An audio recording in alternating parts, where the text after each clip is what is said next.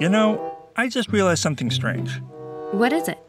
I'm just here. Here? Yeah, here. Like, I haven't even been introduced yet. I'm literally just here.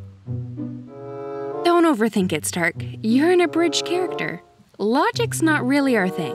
No, no, no, don't get me wrong. This is kinda cool, meeting you ahead of episode 4 and all, but it does feel a little cheap. Welcome to the budget version of the series. Coincidentally, there is no budget, but at least you got a speaking part. Yeah, I suppose that's something.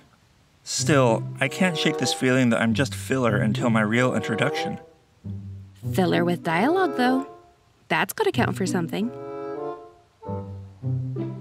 So, what's Frieren's deal? Smut. Smut? I'm going to be honest, I did not see that coming. Neither did I.